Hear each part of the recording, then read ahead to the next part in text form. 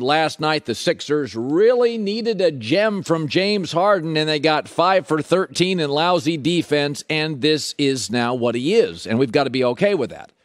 When it goes downhill, it goes downhill fast as a pro athlete. In the bubble season, he averaged 30 a year. It wasn't long ago, four years ago, he was an MVP. But in the last 11 playoff games, he's been held under 25 points, and this is who he is. He is no longer a one. And frankly, very quickly, he is now no longer a two. He could be a three on a championship team. He closed too many nightclubs. He didn't take care of his body, and he's only 32. That is not coincidentally the name of the age of Cam Newton when he fell off a cliff and Russell Westbrook's age when he fell off a cliff. If you don't take care of your game and you don't take care of your body, sometimes it's both, Sometimes it's Cam just one. It ends quickly. He is now 32 and 33. That's the age, 10 years of either neglect or just not staying current. That's what my wife always says stay current. Westbrook didn't, struggled to hit the three. Cam's efficiency now is a huge liability. And James Harden just didn't stay in shape. Now, here's the good news he can still be impactful. He can still be part of a great team.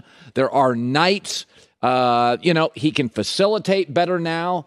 But the thing that's, I think, if you're a Philadelphia 76er fan, the good news is he's got some self awareness. He knows what he is.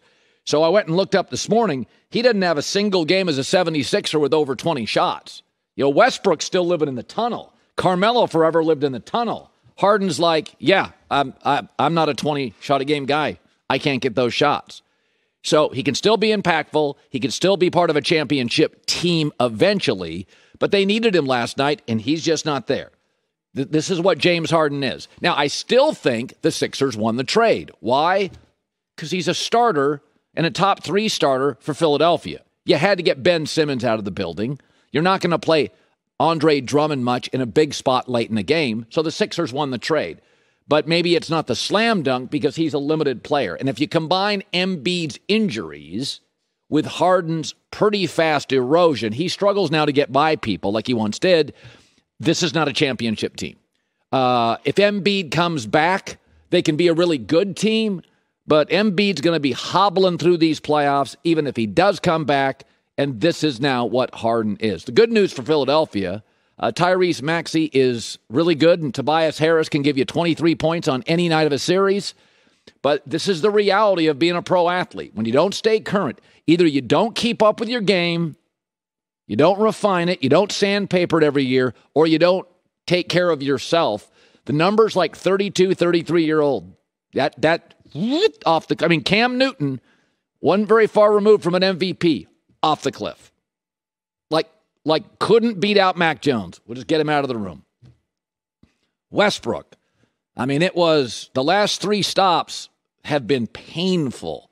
And it's not as painful for Harden because he can still hit jumpers, but he can't get by guys. He just can't get by him. He can't get the shots. He knows he can't get the shots. All right, now we move to the Suns Mavericks. I said I wanted to watch the first game of the series and see how the matchup went. I felt Dallas had to win one of the first couple of games in the series. They're not terribly deep. They're going to rely heavily on Luka. So you're not going to win a seven game series. The longer it goes, the worse it is for Dallas because they're so reliant on Luka. Well, I watched last night. This series is big trouble for Dallas. Number one is um, Phoenix is going to control the boards. They did. Phoenix is not reliant on one player. So as the series extends, you get a better rested, a deeper team. Uh, Dallas is actually in the exact same spot they were with Dirk Nowitzki. They've got a transformational player. Luka is better than Dirk, but they've got a transformational player, and now they got to find a two. And because he's great, the expectations will always be high, but the gap between, you know, Brunson and Spencer Dinwiddie and Luka is is the Grand Canyon. And if you look around the NBA right now, Phoenix has three legitimate scores. Milwaukee's got three legitimate scores. Golden State, depending on Jordan Poole or Wiggins, can have four legitimate scores. Even Philadelphia, with Embiid, Tyrese Maxey, and Harris or or Harden each being a half, you got about three, three and a half scores. Dallas has one. And the problem for Dallas is they're they're a little Bitcoin. They've got to play above themselves and get spikes to win. They need a 48 point game from Luka. They need Spencer Dinwiddie to hit six threes. They need these spikes to be successful. Phoenix is Berkshire Hathaway. Mid range jumpers. Same performance every night. Seven straight playoff games.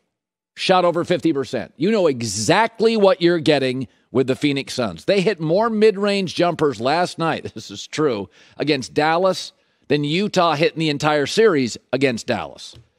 So Phoenix is a nightmare for Dallas. They're going to give the exact same game, multiple scores.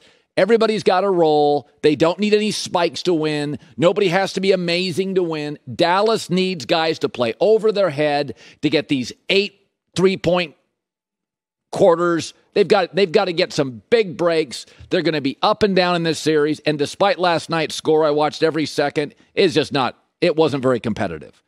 And this this is where all five Phoenix starters in double figures shot over fifty percent. Never singularly reliant on any player. So Phoenix is a really tough matchup. You know, we always look in the NBA at star power, but what you see is Phoenix's chemistry on both ends of the floor is fantastic. And it's funny how chemistry works. It's sort of like if couples hang out together and they build a stronger relationship. It's sort of that way with basketball teams. Like Phoenix guys didn't take a lot of games off. They like played together all season long. Everybody's playing at least 70 games. What a shock. Look how good the chemistry for Phoenix is. Look at how they pass. And now Golden State had guys that missed a lot of games, but they've been playing together now for 10 years. So look at how good the chemistry is with Golden State.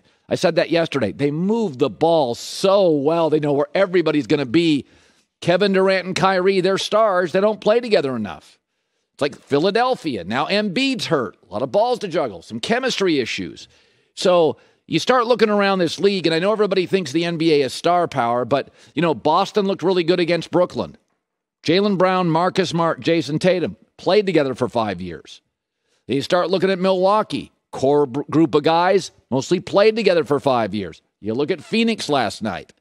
It's just you get the exact same performance out of the Suns. You're going to get double figures, Chris Paul. Booker's going to have over 20. Mikal Bridges, great defender, gives you about 14. Last night, DeAndre Ayton had his way. I know exactly what I get from Phoenix. And I don't even need him to play well. If they just give me what they give me every night, I win the series in five games. Dallas may steal a couple games. Dinwiddie gets hot. Jalen Brunson plays over his head. But I watched that thing last night, and uh, uh, as Jason Kidd said after the game, you you got to give him something more than Luka, As it was with Dirk, as it'll be with Luka. When they find that great two, then it's a championship team. Until then, feels like Bitcoin to me. Hi, everybody. Thanks for watching. Subscribe here to get the latest from the show. Also, be sure to check out more of the best clips from The Herd or go watch a few segments from other shows on FS1.